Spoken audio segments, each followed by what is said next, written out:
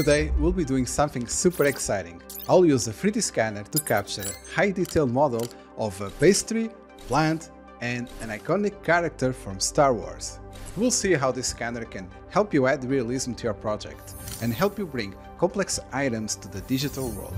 Whether you are an architect, a 3D artist, game designer or just love 3D tech, this tutorial is for you. And stay tuned, because by the end of the video, I'll let you know how you can get these scanned assets for free. We'll be using the Moose 3D scanner from 3D Maker Pro, a flexible, high-performance scanner designed to capture detailed and accurate 3D models. Scanning assets will help you when it comes to adding realism to your projects. By capturing real-world objects, you can create 3D models that retain every texture, complex shape and subtle imperfections, bringing unparalleled realism to your designs. For this project, I'll be using the R2-D2 droid from Star Wars, and to get the best scan, it's essential to set up everything correctly. I've placed the R2-D2 on a turntable for easy 360 degree scanning.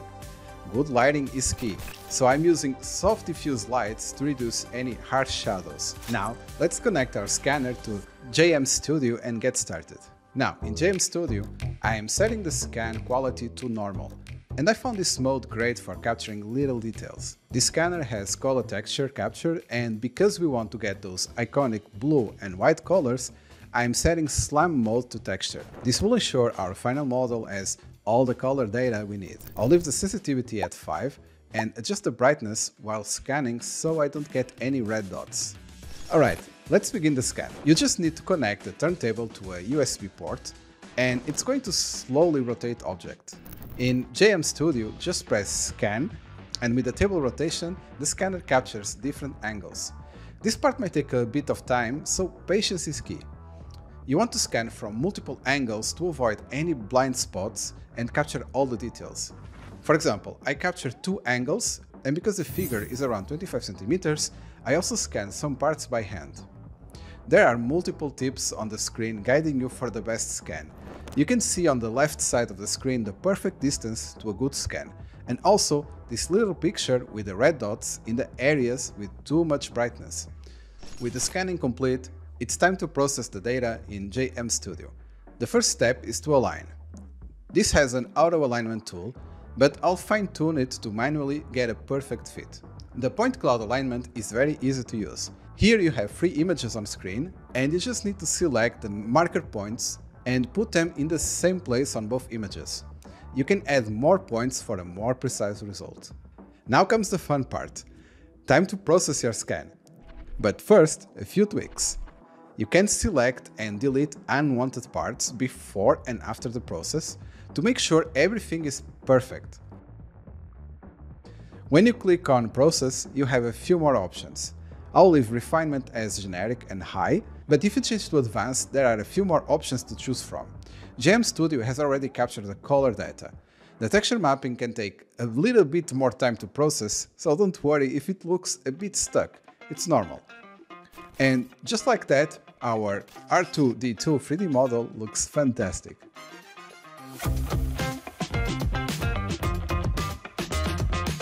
Once you're happy with the scan, it's time to export it. I'm saving the file as an OBJ with its texture maps so it can be used in other software like Lumion. But you can also save it in other file formats. And there you have it, a fully colored 3D model of R2-D2 ready to beep onto your 3D projects.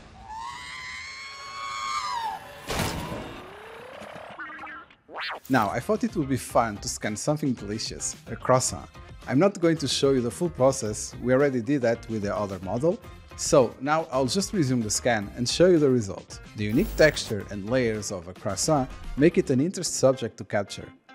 Let's see how well the scanner handles this flaky challenge. Using the same high-resolution settings and texture capture mode in JM Studio, I'll scan it from multiple angles to get a complete 3D model. And here's how the scan turned out.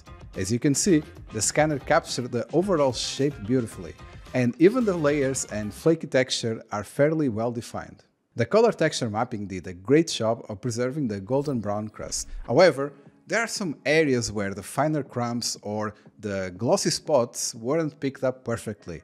This is something I might try to refine with additional scans or by tweaking the point cloud alignment and texture settings in JM Studio. Overall, I'm pretty impressed with how the croissant turned out. It's not perfect, but it's a great starting point for experimenting with food scans. And who knows, maybe we can turn this into a 3D printable croissant for a front project. I did some other tests with this bread and the results are also very impressive. As you can see in this scan, I ended up with a great model I can use for my future projects. Another object I thought would be nice to try is this cobblestone. Here again, the scanner did a great job capturing not only the shape, but also the textures and colors. The possibilities with this scanner are really infinite, and I'm full of ideas of fun objects I want to try to scan next. For my next scan, I wanted to test the scanner with something a bit more challenging, a small plant. I set everything up correctly as I did with other objects, but as you can see, the results aren't perfect. Even after trying multiple scans from different angles, I wasn't able to capture the entire plant, especially the finer details of the pointy leaves. This isn't the first time I've had this issue, and it's something I've noticed even with other scanners as well. It could be due to the delicate thin structures that are harder for the scanner to detect, or perhaps I'm missing a crucial step. If you've encountered this problem or know a workaround, let me know in the comments below. I would love to hear your tips and experiences. In the meantime, I'll keep experimenting to see if I can improve the results with better lighting or a different scanning setup. Next, I decided to try to scan an Xbox controller, and honestly, I was surprised by how smooth the process was. Balancing the controller on the turntable was easier than I expected, and the scanner had no trouble capturing its ergonomic shape, buttons and texture grips. With the controller balanced, I let the turntable do the work while the scanner captured it. The details came out great, especially around the thumbsticks and triggers, which I thought might be tricky. In JM Studio, the auto align feature really impressed me. It merged all the scans seamlessly, even with the controller's intricate curves and buttons. I didn't have to spend much time tweaking anything, which made the whole process much easier. The final result was a detailed and accurate 3D model of the Xbox controller, complete with all the textures and features.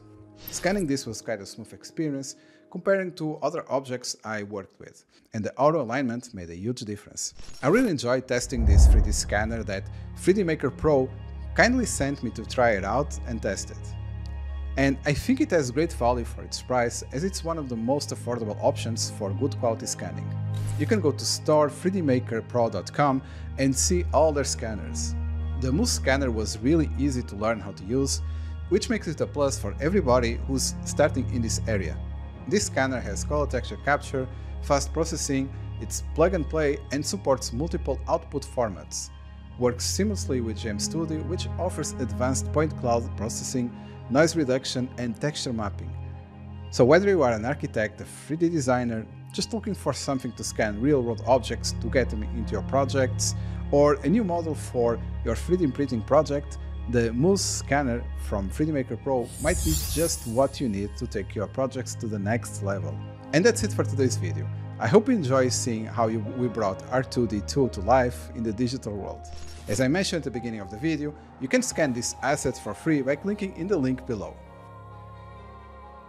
If you found this tutorial helpful, please hit that like, subscribe for more 3D content and drop a comment below if you want me to continue making more videos like this. Thanks for watching and I'll see you in the next one.